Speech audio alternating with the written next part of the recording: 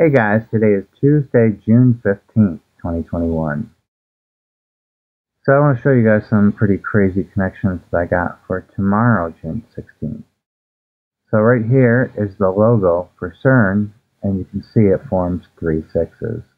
One six there, another six, one backward six, and an upside down six. So September 10th, 2008, that's when the Large Hadron Collider first turned on, which was developed by CERN. September 10th, 2008 to tomorrow is exactly 666 weeks. So right here, July 16th, 1945, that was the first nuclear test. Uh, the first ever nuclear bomb was detonated in New Mexico called the Trinity nuclear test. So when you take July 16th, 1945, to tomorrow, it's exactly 911 months, 911 code. Now when you take the Three Mile Island accident, which was an accident, a partial meltdown of reactor number two of Three Mile Island in Pennsylvania. It occurred on March 28, 1979. It is considered the most significant accident in U.S. commercial nuclear power plant history. March 28, 1979. March 28, 1979 to tomorrow. Look what we have here. 322 code.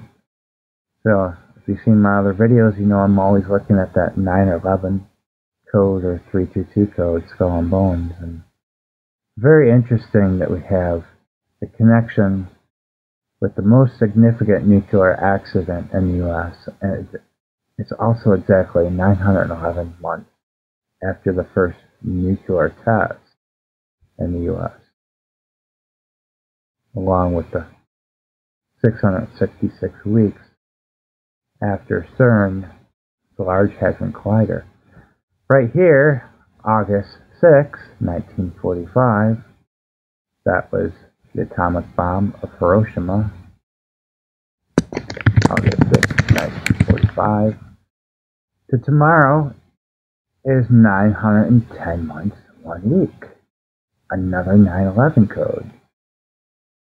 And if we look at the Hindenburg disaster, May 6, 1937, May 6, 1937, to tomorrow, 1,009 months and one week, another 9-11 code.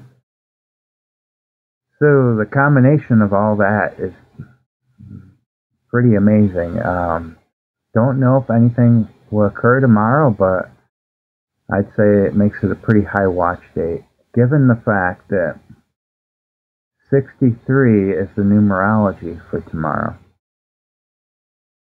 And if you type in nuclear meltdown,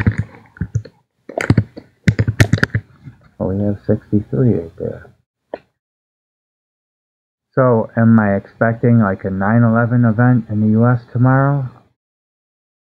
Well, I look at multiple things and I look at the stock market and it's not really giving me a warning that I would normally see if I was going to see like the next big 9/11 event, but we'll see. It might maybe something will happen in another country or be in the US, just not as big, or maybe it will be a big event uh, I don't know. I just wanted to share the, all this information because uh, all the connections that I got for tomorrow are pretty amazing. So, okay, guys. Well, talk to you next time.